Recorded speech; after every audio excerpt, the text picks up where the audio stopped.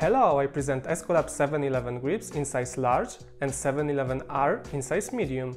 SQlab is a German company specializing in producing of bicycle parts and accessories. All products are designed based on their research and experience, and those grips are the result of their work.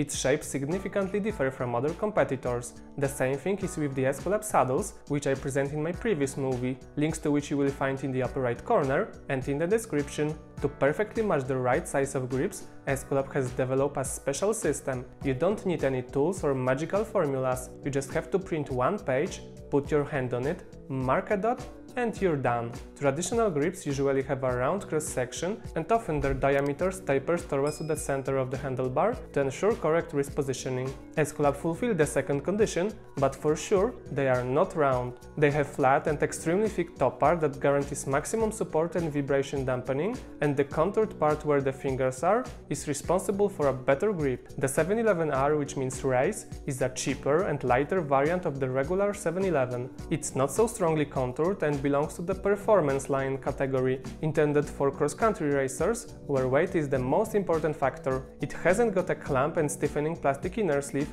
so it has the same design and disadvantages as the Ergons GXR and ESI Chunky, which I discussed earlier. SQlab, at least for me, have one more big minus. They do not have replaceable bar ends, so one decent fall can end them, and I will highlight that they are not cheap.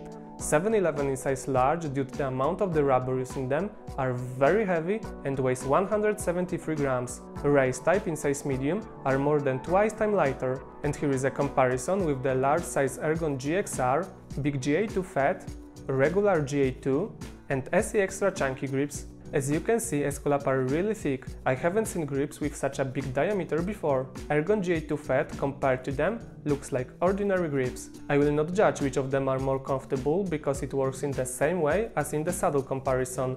For some they will be super comfortable, for other it will be disaster. I can only tell you that SQlab grips are high quality products and thanks to their shape they fit perfectly and provides very good vibration dampening. The manufacturer had to spend a lot of time designing them, so if you have any wrist problems, maybe the 711 will be your salvation. Thanks for watching, if you have any questions feel free to write in the comments, and if you like the video drop a like and subscribe my channel, where I publish new movies every Monday and Thursday. See ya!